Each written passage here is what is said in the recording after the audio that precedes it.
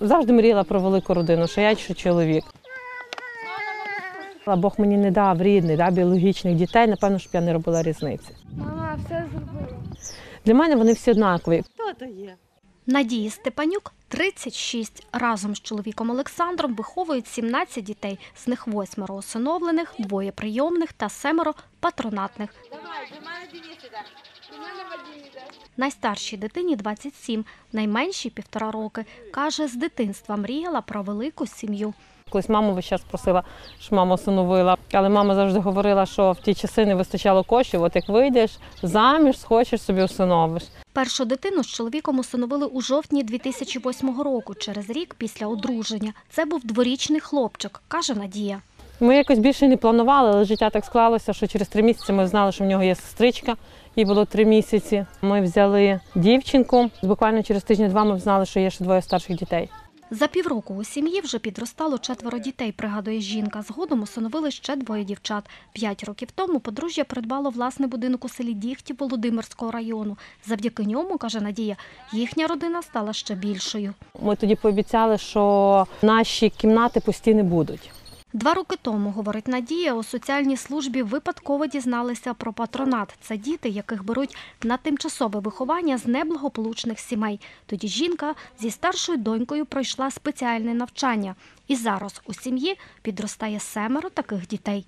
Мені тут подобається жити. Тут можна проводити веселий час. Мені тут добре, багато сестрів, братів, є мама, тато. Дітки приходять з різних сімей. Найважче, мабуть, це привчити дітей до гігієни, до чистоти, до порядку. Ти робиш добру справу, і в той же час в тебе є робота вдома, і ти бачиш дітей, доглядаєш своїх дітей і чужим допомагаєш.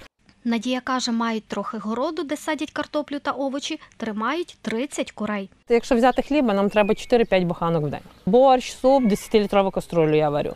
Якщо от ми недавно жарили доронину, прийшлося два відра картошки начистити. Коли розпочалася повномасштабна війна, родина нікуди не виїжджала. Жили, каже, і волонтерили у селі, приймали переселенців. Старші діти ходять у школу, менші у дитсадок. На фронті їхній син Віталій. Пішов добровольцем, пішов перші дні війни. Він сказав нам так, що хтось з дому мусить піти. Тато каже, заробляє гроші, а я такий каже, значить я йду. І пішов було б неправильно, коли він тут, а ми, ми б виїхали за кордон. Бути мамою 17 дітей це цілодобова робота без вихідних, каже Надія. Торік жінка отримала звання матері героїні, цінує найбільше дитячу любов і вдячність. Вже буде 14 років, як ми в цій сім'ї. Ми дякуємо Богу, що у нас вони з'явилися. Дякуємо за те, що вони нас вклали. Вже є дітки, які від нас вийшли, і вони, коли пишуть тобі смс-ку, мам, я тобі дякую з татом, що ви багато мене навчили. Коли вони такі пишуть, там ви мені допомогли змінитися, ми тебе любимо. І ти розумієш, що жодна нагорода не варта тих слів і тих їхніх подяк, які вони говорять. За 15 років у шлюбі, каже Надія, без дітей ніде не були. Скрізь разом намагаються дарувати кожній дитині дитинство та тепло. Говорять, любові у їхньому серці вистачає для усіх. без них нікуди. Без них от, прийде час Кемалі віддати. Ну, йому присвоять статус і куди А, йти? так. Якщо говорити не глобально про те, що вся країна говорить да, про мир і спокій в нашій державі, ми зараз мріємо про автомобіль.